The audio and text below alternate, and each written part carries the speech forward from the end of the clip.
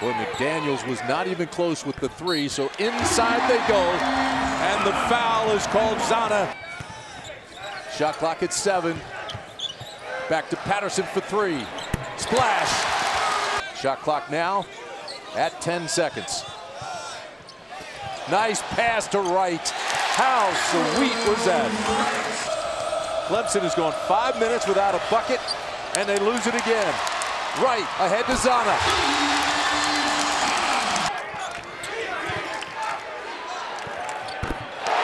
Wright from long range. That wasn't even close. Zanna gets it back. Great give and go. They use a lot of the clock, and they get high percentage shots. Shot clock at eight. Robinson for three, just like that. Boy, Harrison had a good look. Boy, sure did. Oh!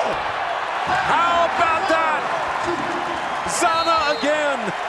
And you talk about rewarding your big guy for running the court. That is some pass by Lamar Patterson. You know, we talked about his passing ability, but that is just really something right there. And Zanna, he's going right to the basket. The shot clock is at five. Picks up his dribble, a little bit of trouble. Patterson's got to go with it. Drains it. Here's Robinson, looks up at the clock. Still plenty of time, 15 on the shot clock. Again, what that indicates is they're getting really, really good shots. How about the move by Robinson with a step back spin? No, that's a great point, especially when you look at their three for 12 from beyond the arc. They just sag in the, in the middle. Zanna again. That's his third three-point attempt of the game, but his first make, he's about a 35% shooter from out there. Oh my, Patterson answers him. Now down to six. Nice pass to Jones who banks it in. You know, I, what are you really going to say to your team at this point? Well, Clemson now with just 20 second half points. Their season low is 25. And there's Newkirk again with another three ball.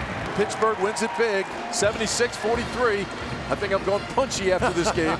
43 points is all the Tigers had in the entire game.